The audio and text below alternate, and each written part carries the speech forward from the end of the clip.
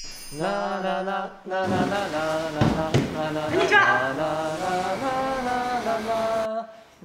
こんにちは。こんにちは。えー数学のこと上野慎太郎です。はい。数学カフェ店長の私も上野です。はい、えー、と数学カフェの部屋です、えー今回のゲストはですね、えー走る冒険家ポンちゃん、はい。でいいですかね？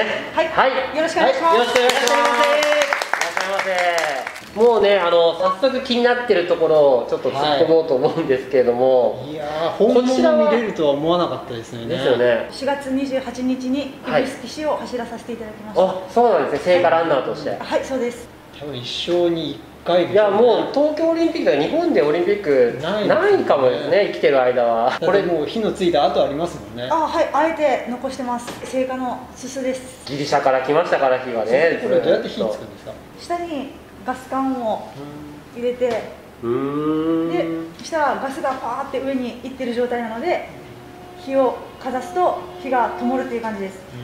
それは桜型です。ローズゴールドで。あこの色もですか、ね色もなるほど。桜っぽい桜って言ってもローズって言ったら言いましょう。ちょっとね、い。そこ僕突っ込まなきゃいけないところでしたね。この実際走る冒険家っていう名前がつく背景にははい。はい。どういった活動をされてらっしゃる、と2018年の4月にモロッコのサハラ砂漠を237キロそして2018年10月にイランのシルクロード砂漠を230キロこれが日本人初です。で2019年4月から5月にかけてナミビア砂漠を251キロ出場し完走しました。今僕計算をしたんですけど、はい。えっ、とね718キロ。違いますね。今まで走った長さ。そうそうだその3つのマラソンの距離が781キロ。違ってたらあのテロップでブブーって出ますので。講演会でその時に持っていくバッグとかをこう聞いてる方々にこう一人ずつこうあのからわしてくださってですね。すごく重くて。何キロぐらいになるんですか全部大体16から17キロぐらい。16から17キロ、はい、1週間分の食料を全部背中に背負って走ります。1日大体じゃあ35から40キロぐらい3540です。キロぐらい。で砂漠の中を走ります。いやいやいやこれ道分かんなくないですか？砂漠って。えっと、道はないですね。で、まあ、たまにフラッグが立ってるのとまあ、一応コンパスも持ってるのでそれで走ります。その最初にそのウルトラマラソンにチャレンジしようと思ったきっかけって何だったんですか？はいえっとインターネットで、まあ、いろんなチャレンジをしてたのが二十歳ぐらいから始めてたんですけど、うんうんうん。で22歳23歳ぐらいの時に世界一過酷なチャレンジって調べた時に、うんうんサハラマラソンってその時、まあ、一番その当時出てきてなるほど。あ何これと思って じゃあやってみたいと思って。はいえっとまずトレーニング体の面そして資金の面。うん。うんそしてまあ英語とかで。まあですよやね。全部ね。日本人は初まあね先ほど初めてのねレースもあったということでほとんどいないんじゃないですか日本人の方。いやサハラマラソンが割といて。あ多いんですかはい。イランが初めてでした。が初めて。はい。自分が何も分からずにそのその全選手の中でうん。一番大きな荷物を背負ってたので、えーそうなんですか。そうです。えじゃあ逆に言うと皆さんもうちょっとコンパクトなんそうです。もう速い人だ速い人というかもうトップレベルだったら、まあ、6キロとか7キロとかもうあ。10キロ近く違う。えそれへ食料も入ってるわけですよね？食料も入ってそのます中に。あ、はい。持ってきていただいてるんですか、おおこれは中は何が入ってるんですか？とフリーズドライの雑炊です。あ雑炊。はい。うんこれに水かお湯を入れて10分ぐらい待てば完成します。はい。で2回目はこういった形で工夫を。けど最初何も分からずに缶詰とか持っていったので。重たいですね。もう缶の重さがありますからそうねです。でも水はどうなんですか？水はだいたい10キロごとぐらいにチェックポイントがあるのでああなるほどですね。その時に3リットルもらって3キロまたさらに背負って次のチェックポイントまで持たせていかないなるかなんかみちみちで買ったりしたらいけないんですか？ほど缶って売ってるところがないんじゃないですか。砂漠だから。砂漠だから砂漠だから。砂漠でなんか商売する人とかいないんですか？いや見たことはない見たことない。はい。ねそう選手向けにね。そうもうだから食料持っていくよりも、うんなんか確かに。ペイペイで払った方が お金かあの重くないかなちょっとねこう現代的な感じですけどね。ですね。私のはい考え方も日本でいるあれで。す 失礼いたしました。これカメレオンみたいなのが売ってる人がいました。え多分あっちではなんかそれを食べれるからそれをお金にしようとしたのかわかんないけど結構へえ売ってるんですか？いや売ってるというか差し出してきてました。えあげるよって感じで？や多分買ってくれって感じだと思います。ああやっぱね押し売りとかいますもんね。カメレオンの押し売りはね本当なかなかないですよね。でこれ中身ははい。ちなみに何が入ってるんですか、えっ、と米。米はい。芋。芋。ネギネギ。卵。卵あ卵も入ってるんですね。はい。でだしとうん。あとこれは黒豚雑炊なんですけど。あ雑炊あ黒豚雑炊ですね、はい、はいはい鶏とか明太とかいろんな味があります。うーん。でもね簡簡易的なやつですよね。でもねそのホテルみたいなのないわけですからね、でも夜の方が走りやすいとかっていう計算する人も。みんな決まっていてこの時間までにここっていうのが決まっていて。でそこに間に合わなかったらリタイアになるしあそうなんだ。そそこまで急がないとってやつでもないんですけどだけどその中でオーバーナイトステージって言ってうん。夜通し走るコースがあってそのおー時は36時間以内に86キロとかいう。ははい。あ36時間で86キロ。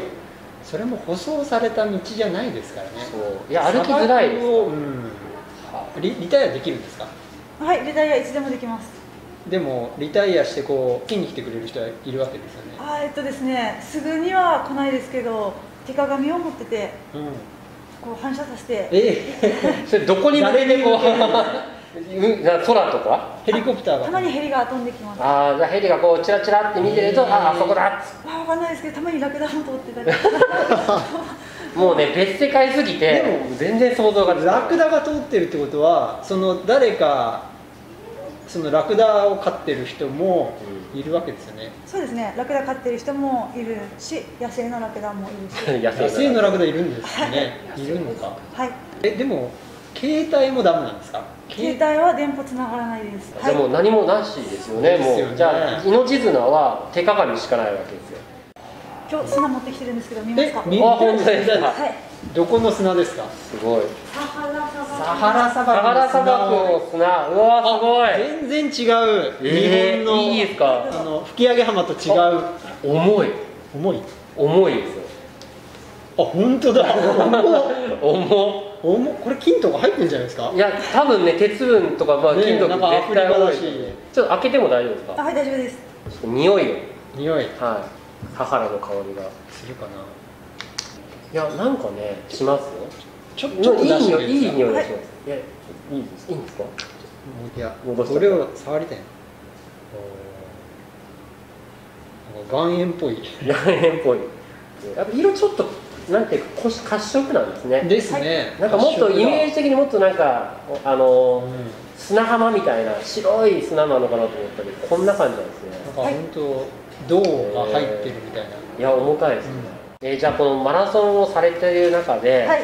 一番こう辛かったことってどんなことですか？辛かったことはそうですね。イランの砂漠の夜中に道に迷って一人ぼっちになったことです。どうやって戻ってきたんですか？赤い点滅ランプをつけて夜通し夜は走るんですけど、うんうん。そしたらコースが外れてることに気づいてくれてであそれは運営の方が？あそうです。おおでたまたまその時は車で夜は見回りがあるので、はいはいはい。で車のヘッドライトでこっちこっちってあ照らしてくれあて。なるほど。いやでも危ない目にあったりとか、まあ、今いなあのコース外れて、はい。まあよかったっていう例ですけど、うんうんうんさっきの物売りもうんしかり、うんなんか危ない目とかってないんですか？レース中ではないですレース外ではあります、まあ、南アフリカでナイフを向けられて、うんえー。はい、マネーって言われたんですけど、まあ、そこでお金を渡してしまったら、そのまままたアジア人が日本人が、あうんお金こうやったらもらえるんだってそこで変な学び方をしてしまってなるほど。また繰り返されると思ったのでちょっとウェイトウェイトって言ってで。携帯で翻訳機能で私は日本人です。日本人はアフリカの人のことが大好きです。だから私はあなたと友達になりたいって見せてしたら何回か入れてるしたら「ソーリー」って言ってくれて。えすごい。いやこれは一番すごい話聞きましたね。大使館とかからはもうポケットに少しのお金を入れて、うん。もう顔も見ずに渡して満足させて逃げなさいっていうのが教えなのでですよね。これが正しいというわけではないです。3つの大きな大会出られて、はい。まあもちろん海外の方ばかりなわけじゃないですか、はい。でそうやってこう海外の方たちとこう直接触れ合った時にはい。何かこう感じることとかってありました、ああそうですね。それぞれあるんですけどイランの大会がそれこそ全世界から30人しか出ていなくて。あ30人？参加者30人だけですか？そうです。だからこそ共通語が英語だったってこともあうって。ーん。で英語が話せないのが悔しかったですね。あもちろん片言とかうん。知ってる単語をつなげてとか、うんうんうん。もうジェスチャー使ったりとかもう日本語をむしろ使ったりとかもしても伝わることは伝わるんですけどイランの多分小学校5年生ぐらいの子が、なんで英語喋れないのって言われてだからもうそこで感じました。その意識というか差を、ね、ここにねあの代表ってうんこう書かれてるんですけども、はい。こちらはスポンサーになる。あはい。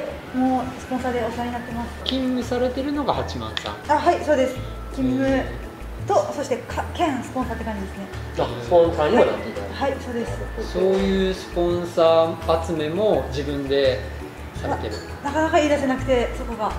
そうですよね。いやでもこのね純粋な純純粋な方。粋さがいいわけですよね。まっすぐな感じがですね。今回のこの数学カフェの部屋がですねえー、と一応告知をしていただけるんですけども、はい。後半にあの数学計算ブリッジという、えートランプゲームをやっていただきまして、はい。じゃあそれで勝ったら、はい。あのー告知ができるということでで負けたらですねあの数学カフェのメニューを食べていただいて、はい。率直な意見を伝えていただく。わかりました。どっちも嬉しいです、ということで、はい。今日のゲストは、えー走る冒険家、はい。本ちゃんでした。ありがとうございました。ありがとうございました